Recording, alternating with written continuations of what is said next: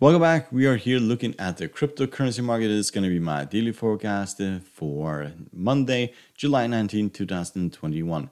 If you like support channel, you want to hit the subscribe button down here in the corner, hit the like button bell button to see our new videos, and you're welcome to join us over at Patreon. The link is down below. So this will be a more uh, watered down version of my usual videos, and uh, main reason for that I think is because uh, the cryptocurrency market is kind of dependent on what happens in with Bitcoin and probably also with what happens with Ethereum. So I'll just decide. I have decided now just to focus on those uh, two cryptocurrency and I look at them in in, in more detail as I look at the uh, at more chart or different time frames uh, for those cryptocurrencies. So the four hour, probably one hour, and the weekly as well, as uh, these will basically determine where the other cryptocurrency will go. If Bitcoin falls off a cliff, uh, then the same will happen to Ethereum and other cryptocurrency. And if Ethereum falls off a cliff, then it probably will have a, a similar effect. So we'll start by looking at the Bitcoin in the daily chart. And as you can see here, we do have a crossing of uh, the daily uh, chart here in the MACD, which basically is a bearish indication. Stochastic is bearish, and so is the RSI. Well, there's still room to the downside. So what is going on here is basically that we are in a descending triangle. We can see it right here. So right there. So and I'll take the other part in a moment. So we did have a rally here where we basically had a false breakout, breakout up towards the 200 moving average and then just a bank to the downside. And every single time we getting close to this line, we have broken down. It was just this, which was a false breakout, broke down really here, down, down, down.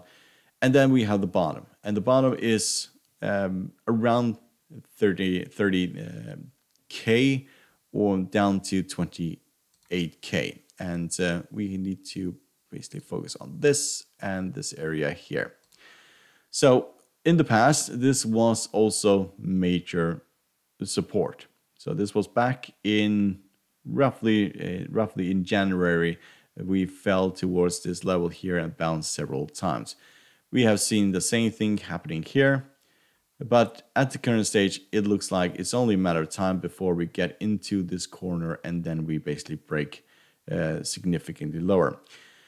How far? Uh, around $10,000 is the estimate. So the high of this um, high of this fall is roughly 40k down to 30 uh, 30k. So $10,000 is a measurement here, and that basically means that will drop $10,000, and that will drop us down towards the 20k. And that should make sense because um, 20K was also where we had the previous all-time highs. We have to go all the way back here. Then 20K is right there, roughly around this area here. So that is most likely where we'll find massive support um, if people don't start panic selling. Because I'm guessing that most people, when 20K broke, people were starting to buy, really starting to buy, as they knew that this was going to take off and to a new uh, bear market for the cryptocurrency market. You can see how rapidly this rallied. We basically went from give or take uh, 20k to uh, 41k in roughly three weeks.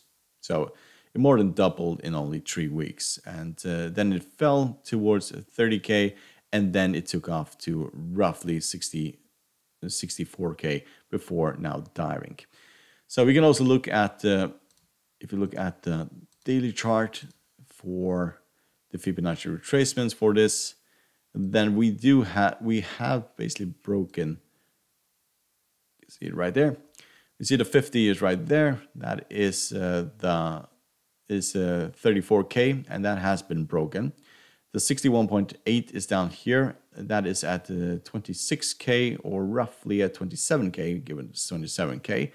And that basically means that we could see a bounce at around 27K. But if this breaks, then a tidal wave is, is sure for this market down towards um, the 20K. So dropping for where we are at the moment down to 20k in one day or one week, that is fairly unrealistic as we are going to as we are going to get really overstretched and really oversold, and people will start uh, buying into those over oversold conditions. But within the next month or two, then probably yeah. But it kind of depends on whether or not we break below this. If we basically turn around here and head towards the upside, uh, then we can see that uh, we could draw. We need to break above the 50 moving average then we could go to the 200 moving average, which is at the 44K here. And um, yes, that will probably be massive resistant. If you look at uh, four hour charts, we can see how often we came in contact with this area here. One, two, three, four, five, and now yet again, six time we are basically challenging this area. So yes, it is kind of just a matter of time. We can also look at the at the one hour chart, we have been just getting close to this area here and then just bouncing off it. But for our chart, yet again, you can see that every single time we rally in the four hour chart, it is basically the 20 exponential where we're having problems. So getting up towards the 20, breakdown, 20, breakdown, 20, breakdown. And yet again, now try testing the 20, and it looks like we're just continuing dropping towards this area here and then just going to bounce. So if we were to rally, then we could go up towards uh, 33 and there we'll find massive resistance as well. And we will also run into the 200 moving average in the uh, four hour chart. So yes, not looking very good for Bitcoin and it hasn't been going very well for Bitcoin for a very long time. Um, the hype in this market is completely gone that is the the hype in this market has completely gone, and that was basically what was fueling this market. Uh, also, that there are so many cryptocurrencies in the market now, and everybody is talking about the new cryptocurrency, new cryptocurrency, and the focus from uh, Bitcoin has basically been has been gone for quite some time. It does not get the same headlines as it used to do, and news basically drives the market as well. So let's look at Ethereum. So Ethereum is in a very similar um, similar state. We also have a descending triangle here, and uh, we also have a bottom roughly around here. So give or take uh, 1700, that is kind of where the bottom is in this market, around there. So if you look at where we have dropped, where we started, so this is roughly uh, 3,000 down to 1,700. That's 1,300 dollars um, of move, and that basically basically means that if we drop below this, and we could see this dropping all the way down to 300 dollars. That is basically the measured move here, but that will probably take a much longer time. Uh, we have not had the crossing of the 50 moving average and the 200 moving average. You can see the 50 is there, 200 is there. We have the 20 exponential and the 200 crossing and the 50 that looks like much uh, far off. Probably the end of this month or the beginning uh, of uh, august uh, we may see a crossing of the of the 200 and the 50 moving average. But still the picture is kind of the same. We could rally up towards this point 2100 break down towards the 1700, uh, give or take, and then up and basically break below here. Then we are going to see a massive drop, first of all, to the 1500 level, which is the uh, 300 moving average at this point, then 1000, and then much, much lower. When I remember when I started covering um, uh, Ethereum, it was all the way down here. It was basically talking about the $200 and so on. That is, that's only a year ago. So it isn't that far fetched that we see this basically drop all the way down back to where we were only one year ago. So this has been absolutely parabolical in its uh, momentum, and things don't. We even see a hockey stick like this. This is just a bubble. I don't say, I don't mean that uh, this can't go to higher levels, but in, in one year going from roughly uh, $200 all the way up to above $4,000, uh, that is completely bogus. That is completely re- unrealistic. No asset has that amount of rally in one year without basically being a bubble and basically seeing this drop significantly to the downside. So if you look at, for example, Fibonacci retracement, we can see that 50 is here that we broke a long time ago.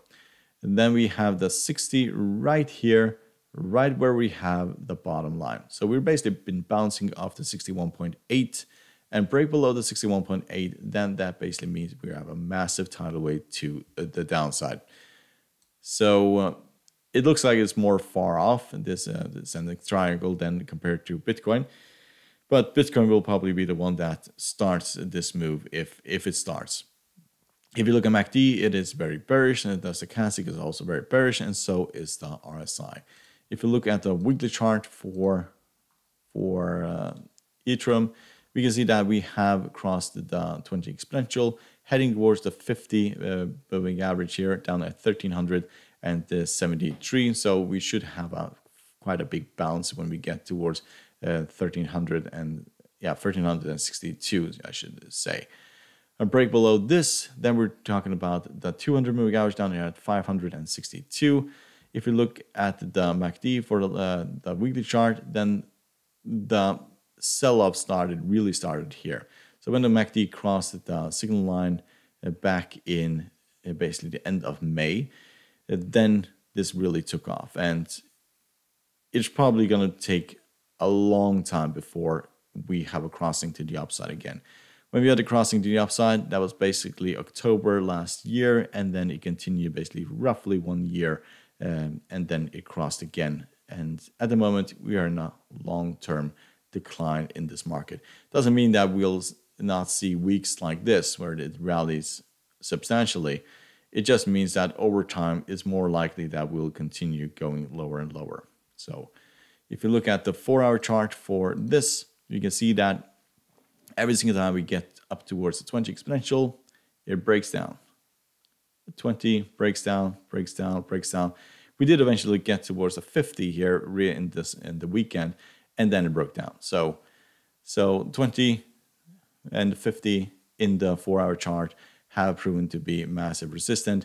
And it looks like we're just slowly declining back towards the 70, uh, 1750 level, which is crucial for this market at this point. We can see it tested it there, there, also there, also there.